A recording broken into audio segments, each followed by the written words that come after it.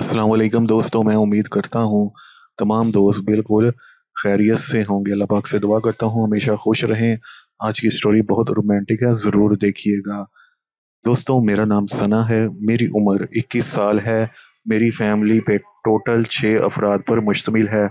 मेरी अम्मी, अबू, दो भाई और हम दो बहनें। मेरे अबू दुबई में जॉब करते हैं और मेरा एक भाई अरहम अबू के साथ ही दुबई में होता है। मेरा छोटा भाई अंजम घर में ही होता है।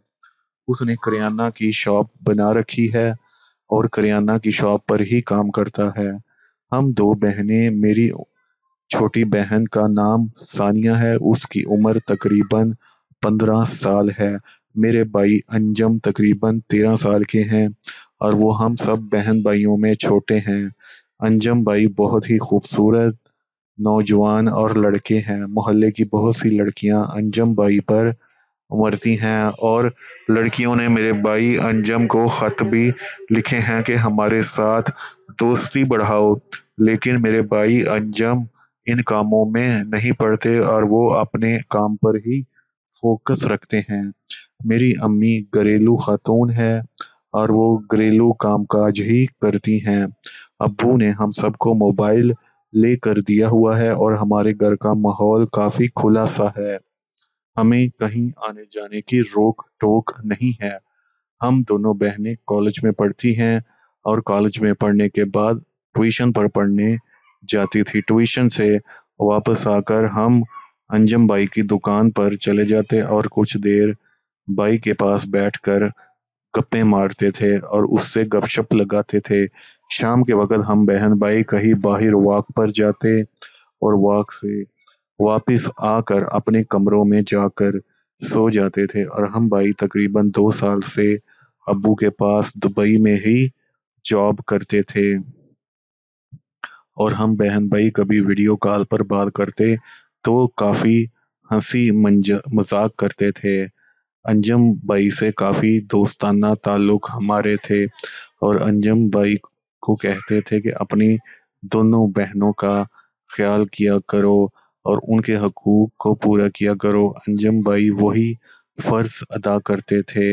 हम सब एक दूसरे से बहुत ज़्यादा प्यार करते थे और हम बहन भाइयों में बहुत ज़्यादा प्यार था। एक दिन मेरी अम्मी के पेट में दर्द हुआ। हम उनको हॉस्पिटल ले गए अंजम भाई और मैं दोनों ही अम्मी को हॉस्पिटल लेकर गए। सानिया बहन घर में अकेली ही थी।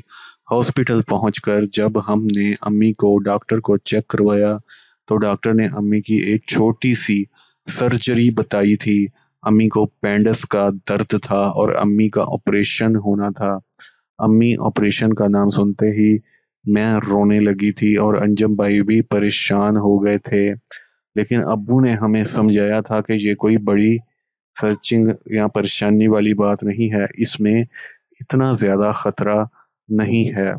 तुम लोग ऑपरेशन बस करवाओ। हम एक प्राइवेट हॉस्पिटल में गए जो हमसे काफ़ी दूर था। हमारा घर वहाँ से तकरीबन एक घंटे का सफ़र था। इसलिए हमें हॉस्पिटल में ही रुकना पड़ा था। हमने घर में सानिया बहन को फ़ोन कर दिया था कि अम्मी का ऑपरेशन है और हम दो तीन दिन हॉस्पिटल में ही उनको रखेंगे, तुम परेशान ना होना। सानिया बहन के पास हमारे काम वाली रहने लगी थी, क्योंकि घर में कोई भी प्रॉब्लम नहीं था। अंजम भाई भी मेरे साथ ही थे। डॉक्टर अम्मी को सर्जरी के लिए लेकर गए थे और रात 11 बजे का टाइम था और मैं और अंजम भाई दोनों अम्मी के कमरे में बैठे हुए थे। एसी चल रहा था और अंजम भाई बेड पर लेट गए थे। मुझे नींद आने लगी थी, लेकिन कुछ देर बाद मुझे एहसास हुआ कि कोई मेरे भाई से, कोई मुझसे छेड़छाड़ कर रहा है। मैंने हल्की सी आँख खोली तो अंजम भाई मेरे से बहुत ही गलत हरकत कर रहे थे। ये देखकर मुझे काफ़ी गुस्सा आया और मैंने अंजम बाई का हाथ हटा दिया था। अंजम बाई नींद में सोने का नाटक करने लगे थे। जैसे वो बता रहे हों कि मैं नींद में था और मुझे पता नहीं चला, लेकिन अंजम भाई इस तरह हाथ लगाने से मेरे अंदर भी जज्बात मचलने लगे थे और अजीब सा फील हो रहा था और अम्मी को ऑपरेशन करके वापस ले आए थे। इसलिए हम दोनों वहाँ पर मसरूफ हो गए थे और उनकी देखभाल करने लगे थे। पूरी रात हम दोनों बहन भाई ने अम्मी के ऊपर ही रहे और उनका ख्याल रखते रहे। अब अम्मी की तबीयत कुछ संभलने लग गई थी। अगले दिन हम घर गए और अम्मी के कपड़े वगैरह और खाना वगैरह लेकर आ गए थे। रात को फिर हमें ठहरने के लिए अलग कमरा दिया गया था और अम्मी के लिए वहाँ पर बेड भी रखी हुई थी।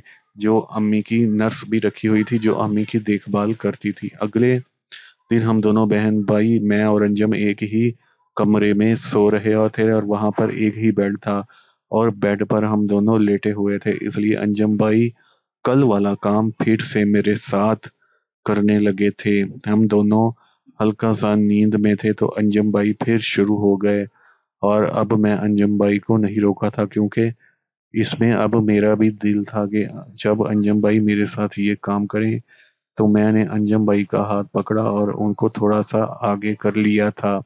इस तरह अंजम भाई मेरी उस जगह पर पहुँच चुके थे। अंजम भाई को जब अपना होता हुआ काम दिखाई दिया था तो उन्होंने मेरे साथ करना शुरू कर दिया था। मैं अभी उनका साथ देने लगी थी और हमने हॉस्पिटल में एक दूसरे को काफ़ी राहत दी थी। इसके बाद हम अम्मी को घर ले आए थे और मामूल की ज़िंदगी में मसरूफ थे। अंजम भाई, अब अम्मी और बहन सानिया से नज़रें चुरा कर मेरे साथ कर लिया करते थे। मैं भी अंजम भाई की आदि हो गई थी और उनको कभी भी नहीं रोका था। भाई कहते थे, सुना बहन, मैं तुम्हारा जवान हो गया हूँ ना?